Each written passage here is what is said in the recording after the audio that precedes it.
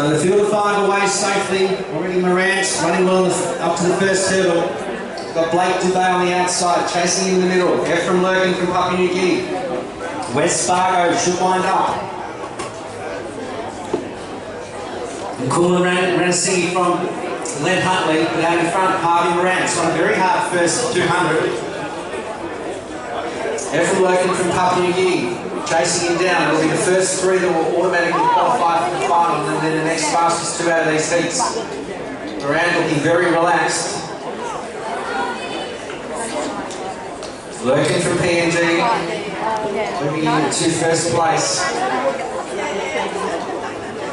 The gentlemen clear the last hurdle. And will take out the heat win. Murrant switching off nicely. And Spargo. So those three gentlemen will automatically qualify.